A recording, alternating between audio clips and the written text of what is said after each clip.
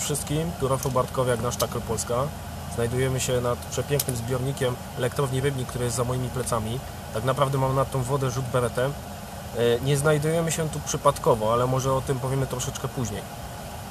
Chciałbym Wam przedstawić produkt, który tak naprawdę jest dostępny w naszej ofercie od dwóch lat. Jest to wędka Entity. Wędka występuje w dwóch długościach, 12 i 13 stopowej. E, Co jest charakterystycznego dla wędki o długości 3,60 metra? E, Występuje w trzech krzywych ujęciach 2,75, 3 i 3,5 lbs. Wersja 3 i 3,5 lbs jest wyposażona w 50 mm przelotkę startową i 15 mm przelotkę szczytową, która znacznie ułatwia nam przeciągnięcie zielska, który znajduje się e, czasami na węzłach przyponu strzałowego. Jesteśmy w stanie przeciągnąć to zielsko bezproblemowo przez wszystkie przelotki i spokojnie dokończyć hol. W przypadku wersji e, 12-stopowej 2,75 lbs przelotka startowa ma 40 mm.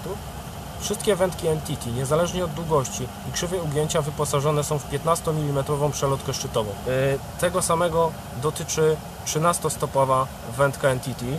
E, Także jest to dwuskład. E, Przelotka startowa, tak jak wspomniałem, 50 mm i 15 mm szczytowa. W wersji 13-stopowej występuje tylko krzywa ugięcia 3,5 lbs.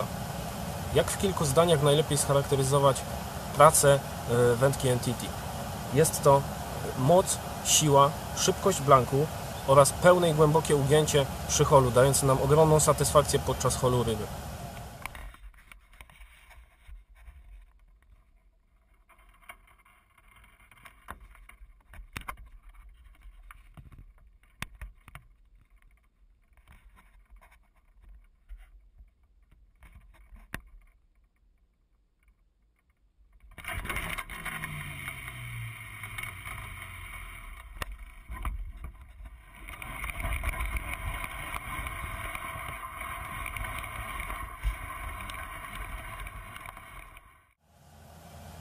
Na początku wspomniałem, że nie znajdujemy się tutaj na tej wodzie przypadkowo i tak jest.